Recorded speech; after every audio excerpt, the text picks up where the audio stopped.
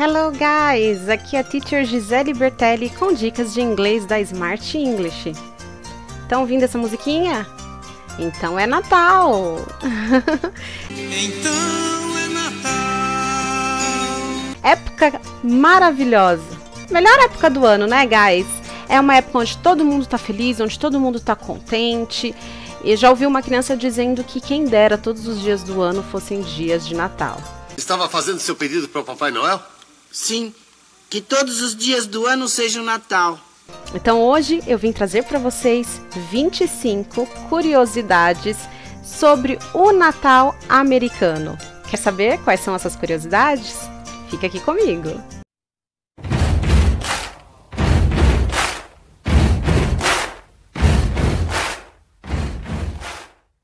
Dia 25 de dezembro, que data maravilhosa! É Natal! Eu trago aqui para vocês 25 curiosidades do Natal americano. Vamos para a primeira curiosidade? A primeira curiosidade é: a maioria absoluta dos americanos não comemora a véspera de Natal.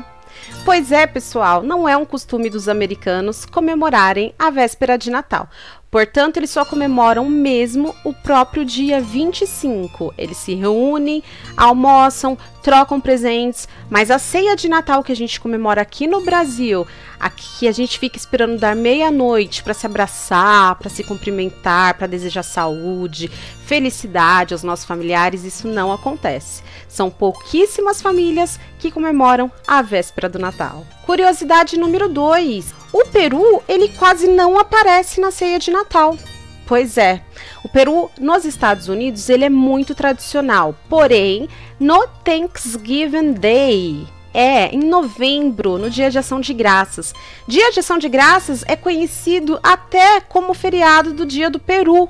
Pois é, porque ele faz parte da ceia do Dia de Ação de Graças. Então, quando chega no Natal, pouquíssimas famílias compram peru para colocar na ceia. E aí o que eles comem? Ah, entra qualquer outro tipo de comida, como outros tipos de aves, peixes e muitas comidas bem étnicas que tem a ver com a imigração, né? Porque os Estados Unidos nós sabemos que atraíram muitos imigrantes, tem uma cultura bem diversificada. Cada cultura faz a sua ceia de Natal de acordo com o que eles estão acostumados. Desse jeito, eles mostram as tradições dos seus ancestrais. E aí você pode encontrar de tudo: massa, peixes, frios, até pizza, guys. Acredita? Curiosidade número 3. O panetone é quase desconhecido pelos americanos. Aqui no Brasil não tem Natal sem panetone, não é verdade? Panetone, vocês gostam de panetone? Lá nos Estados Unidos, você geralmente encontra famílias que comem panetone, mas você pode ter certeza que essas famílias americanas são descendentes de italianos. É, essa iguaria não é muito apreciada. Então, se você for passar o um Natal nos Estados Unidos e quiser comer aquele querido panetone, vá até um supermercado que venda itens italianos, que vai ser mais fácil de você encontrar. Curiosidade número 4: o primeiro fim de semana após o Dia de Ação de Graças é o fim de semana eleito para as decorações natalinas. É o dia onde as famílias se reúnem para decorar a casa. O primeiro final de semana após o Thanksgiving Day é o dia de tirar a árvore da caixinha ou cortar a sua árvore e começar a encher tudo de luz. Tem americanos que já se empolgam, terminou o Halloween, já estão fazendo a decoração. Mas a melhor data para começar as decorações é o primeiro fim de semana após o Thanksgiving Day. Curiosidade número 5. As árvores naturais ainda são muito preservadas na cultura americana. A maioria das famílias não usa árvore artificial.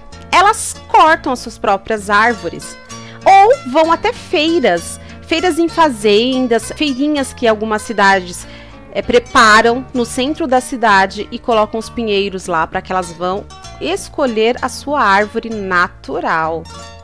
Segundo os grupos de preservação ambiental, é muito bom, porque a árvore natural é melhor para o meio ambiente, já que as de plástico não são biodegradáveis.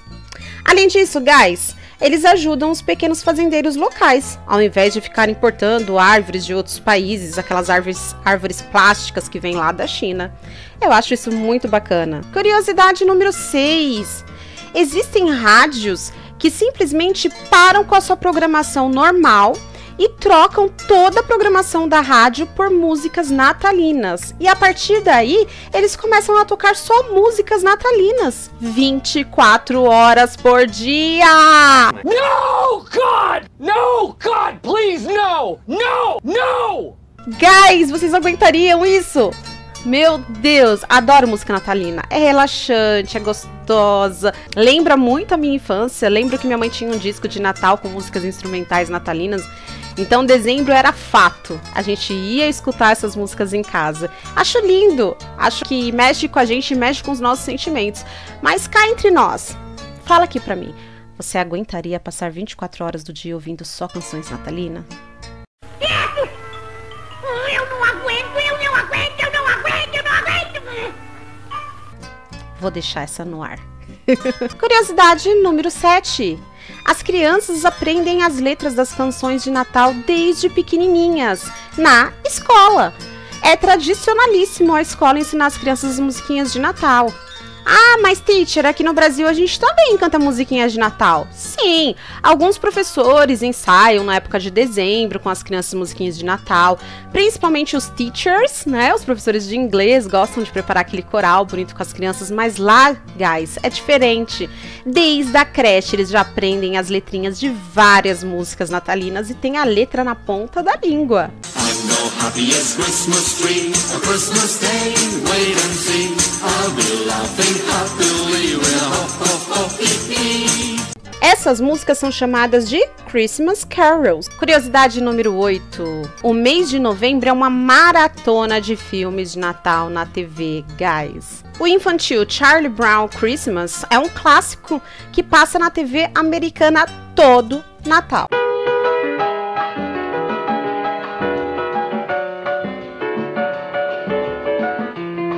Filmes todos os dias para quem quer relembrar os mais famosos. O famoso Quebra-Nozes, em forma de desenho ou balé, passa na televisão, tem espetáculos em várias cidades.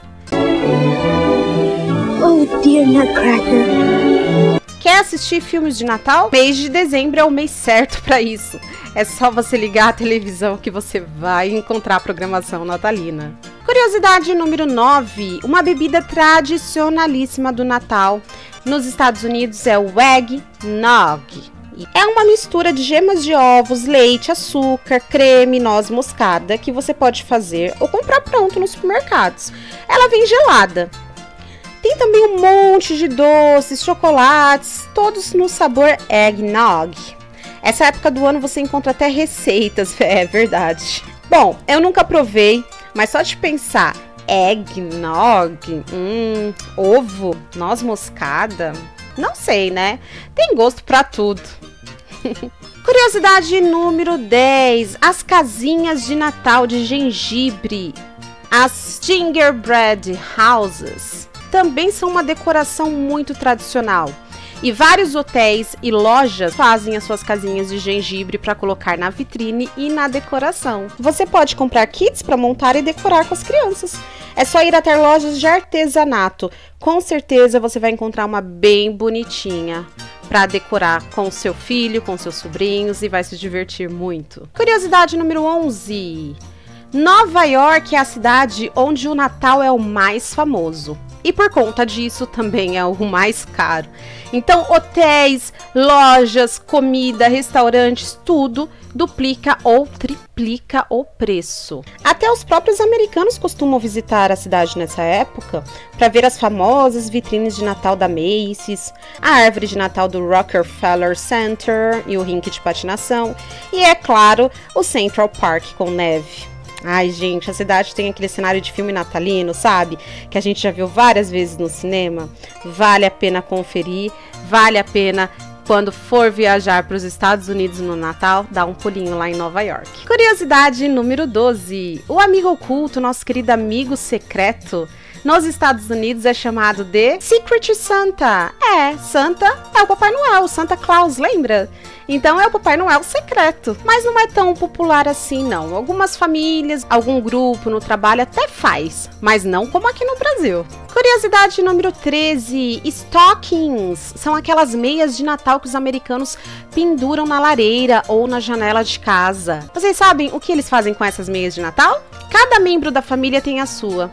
E dentro dessas meias são colocados mini presentinhos, miudezas, docinhos, chocolates, luvas, pequenos livros, itens de beleza, jogos, miniaturas. Esses itens são chamados stocking stuffers, literalmente para estufar as meias. As famosas candy canes, sabe aquelas bengalinhas doces? Pois é, vão bem dentro das meias e nas decorações de Natal das árvores e até para decorar embrulhos.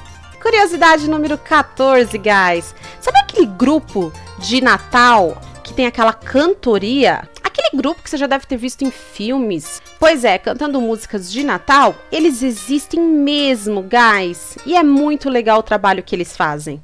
Eles visitam casas de repouso, visitam orfanatos e falam que vão cantar o Christmas Caroling que são as canções de Natal que se chamam carols. E aí o nível dessa cantoria vai variar de amadores até profissionais. É um trabalho muito bonito. Curiosidade número 15.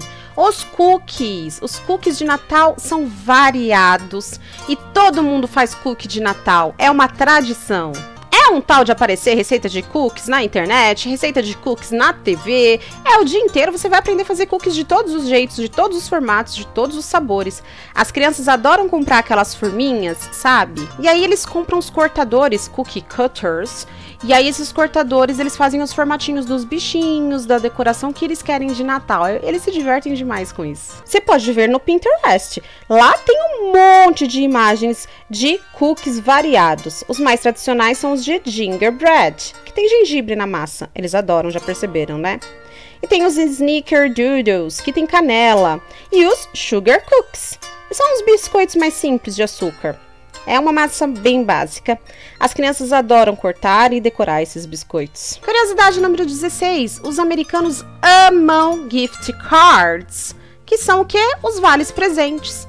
Pois é, é uma ótima pedida para quando você não conhece muito bem o seu amigo, quando você pega um amigo oculto no trabalho, e aí você não conhece muito bem, sabe, o novo namorado da sua filha, ou o seu cunhado, enfim.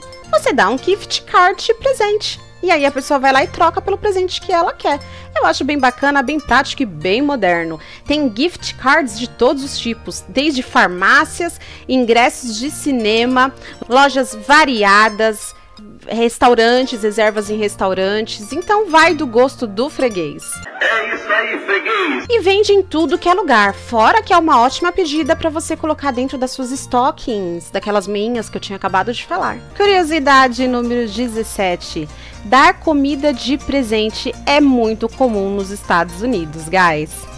Tem muitos pacotes especialmente decorados para o Natal. Pois é, de queijo, frutas e chocolate, incluindo o Christmas Bark, os biscoitos, vinhos, doces, pipocas, junto com o quê? Os gift cards. E o que, que são os Christmas Bark, teacher? É um doce que aparece para vender nessa época. É um chocolate rústico em pedaços grandes, tradicionalmente feito misturando chocolate e peppermint, menta. Mas hoje em dia tem Christmas Bark de vários sabores. Curiosidade número 18. Ah, essa vocês não vão acreditar. O sonho de muitos americanos é ter um White Christmas. É, um Natal todo branquinho de neve. Pois é, e a gente achando que só aqui no Brasil a gente tem vontade de conhecer a neve, de ter um Natal assim, um Natal mágico, né? Mas isso não é muito comum acontecer. Não são todas as cidades que têm neve, não são todos os estados que nevam nessa época do Natal. Até em cidades bem frias, bem geladas, pode acontecer de não nevar nessa noite. E para os americanos é muito mágico. É o Natal mais bonito é o Natal que tem neve. Curiosidade número 19. Os americanos costumam comprar muitos presentes de Natal. Ah, teacher, mas aqui no Brasil a gente também compra um monte de presente de Natal. Não, não é igual. Eles compram, quando eu falo muito, são muitos presentes de Natal. Até porque eles costumam comprar muitas miudezas, presentes pequenos, como comida, gift cards, stocking stuffers. Então, juntando todas essas miudezas, todos esses pequenos presentinhos, dá um montão de presente. Vai somando tudo, é presente que não acaba mais. Tudo isso? É, o consumismo lá parece ser bem maior do que aqui. Curiosidade número 20. Várias cidades nos Estados Unidos promovem concursos de decoração de Natal. Como é que isso acontece? Os moradores fazem verdadeiras superproduções com luzes dançando ao som de músicas natalinas. Gente, tem direito a câmera transmitindo pela internet e tudo. Tem bairros que chegam a ter filas de carros passando pelas ruas onde ficam as casas mais decoradas. E aí o pessoal costuma circular para ver essas casas mais famosas. Eles chegam, às vezes, até colocar placas na frente da casa dizendo qual estação de rádio você pode sintonizar para ouvir a música que tem a ver com a decoração deles, enquanto você vê as luzes dançando. Olha, gente, que loucura! Curiosidade número 21. Agora é uma curiosidade regional, é uma curiosidade específica do Texas. No Texas, eles têm costume de fazer Trail of Lights. O que, que são isso? São caminhos com luzes. Literalmente, eles pegam um trecho de uma rua ou um parque, aí varia o tamanho, claro, e fazem um caminho de luzes com direito a túneis e enfeites diversos de Natal formados pelas luzes. Imaginem que coisa mais linda! Curiosidade número 22. Existem duas, apenas duas lojas famosérrimas por serem as maiores lojas de Natal nos Estados Unidos. Quais são essas lojas? São a Brunners, que fica em Michigan, fica em Frankenmuth, que é uma cidadezinha alemã em Michigan. E a segunda maior loja de Natal é a Christmas Place, que fica em Tennessee. Essas duas lojas, elas vendem muita coisa para Natal. Aliás, elas só vendem itens de Natal. As duas lojas têm sites que vendem online e são uma verdadeira perdição para quem gosta de enfeites de Natal, porque tem coisas super diferentes, inclusive importadas. Para os Disney maníacos, a loja Disney's Day of Christmas, que fica em Downtown Disney em Orlando, é o lugar para comprar enfeites com personagens o ano inteiro. Então você curte Disney? Vai lá conhecer essa loja. Curiosidade número 23. Vocês já viram um grupo de Natal tocando sinos? Bells?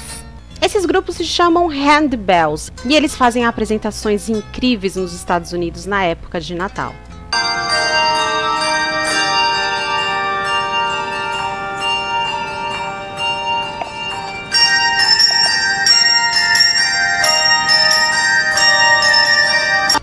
Lindos demais e eles tocam músicas de Natal ou músicas clássicas.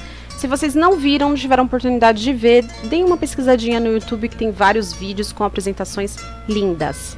Curiosidade número 24, a curiosidade da véspera. Muitas famílias fazem um Advent Calendar, que você pode comprar pronto ou fazer. No Pinterest, novamente citando o Pinterest, tem várias ideias para isso. O calendário tradicional tem 24 quadradinhos, que são os dias antes do Natal. O mais comum é colocar um pequeno presente, pode ser um doce ou algo igualmente pequeno, para abrir a cada dia.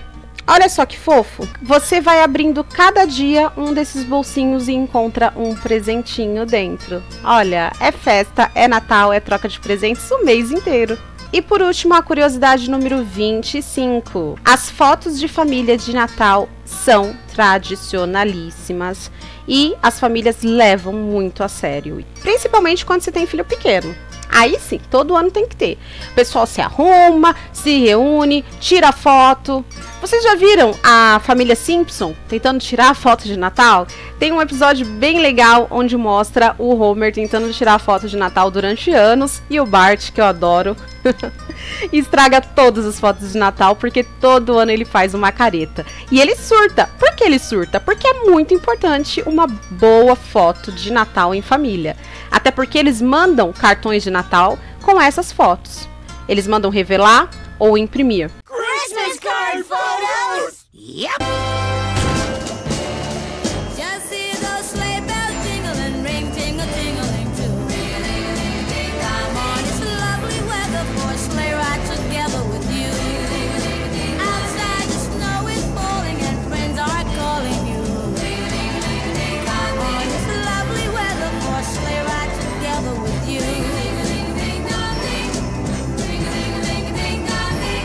novembro já é a temporada oficial de fotos de Natal no shopping e nos parques. É, já tem até Papai Noel esperando para tirar foto com a criançada.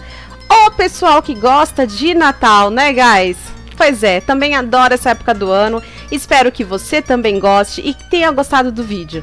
Você sabe mais alguma curiosidade de Natal? Mais alguma curiosidade dos americanos ou até de outros países que têm a língua inglesa como língua oficial?